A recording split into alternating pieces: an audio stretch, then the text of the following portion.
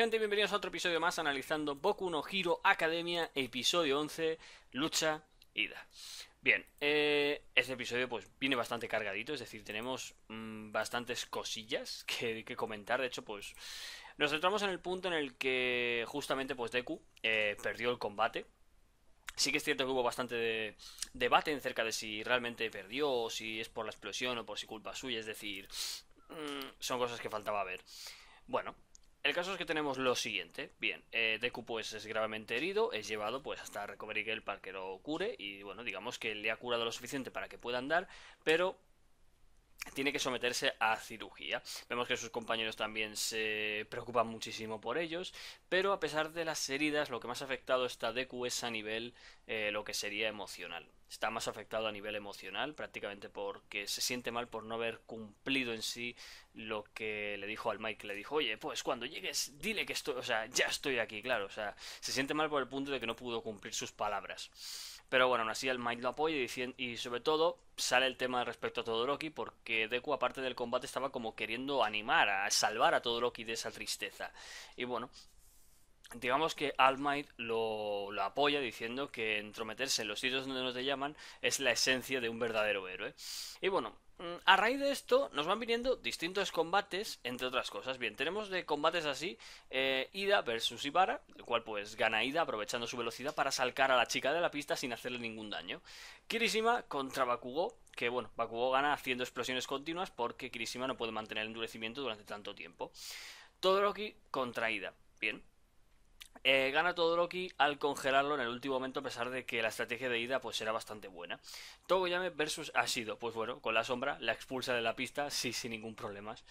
Bakugo contra Tokoyami. Bakugo descubre la debilidad que la luz es el punto débil de, de la sombra oscura, de Shadow, y con esto pues acaba así sin problemas. Entre estos combates pasan diferentes cosas, como el hecho de, bueno, eh, la liga de villanos que se pone en contacto con el Hero Killer, y sobre todo pues el, este asesino de héroes, el cual pues eh, digamos que bueno, se encuentra con Ingenium, el hermano de Ida que está trabajando y digamos que aprovecha este momento para acabar con él, ya que se le ve que está bastante mal herido, si es que no está muerto. Y de hecho, pues esta noticia al final del capítulo se la comunican a Ida. O sea, no es exactamente lo mejor para agradar, pero el corazón del pobre Ida ahora mismo se está oscureciendo.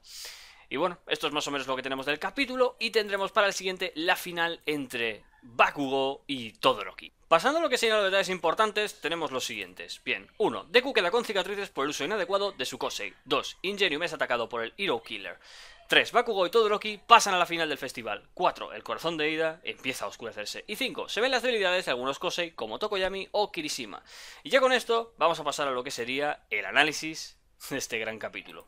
Sí que es cierto que se me ha hecho bastante corto el hecho de resumirlo, de hecho me sorprende que el vídeo me dure tan poco, pero es lo que tiene, es decir, el, episodio ha estado bastante grande, pero muchas de las cosas eh, son sencillamente fáciles de resumir, en puntiendo de no dar tanto detalles, porque a mí me gusta que vosotros disfrutéis la experiencia y si no se puede sacar a lo mejor muchos datos, pues es más o menos como lo resumo.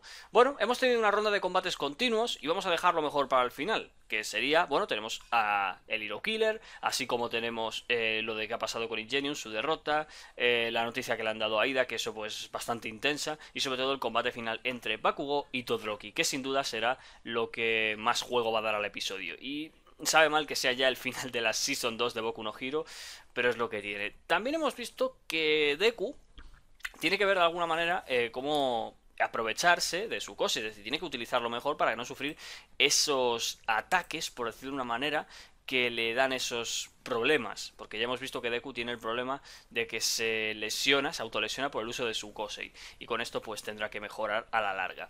Hay puntos a los que no le ha llegado a pasar eso, pero tendrá que encontrar el punto diferente entre una cosa y otra.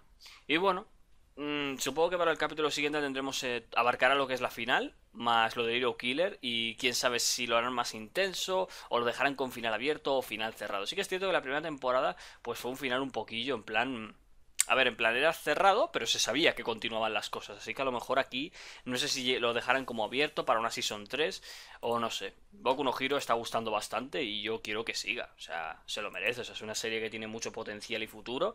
Y de hecho, pues de manga todavía tiene bastante para tirar. Así que Boku no Hero, estamos esperando su último episodio y la Season 3. Así que la semana que viene, el 17 de junio, tendremos el final. Así que nos despedimos, muy buenas y hasta la próxima.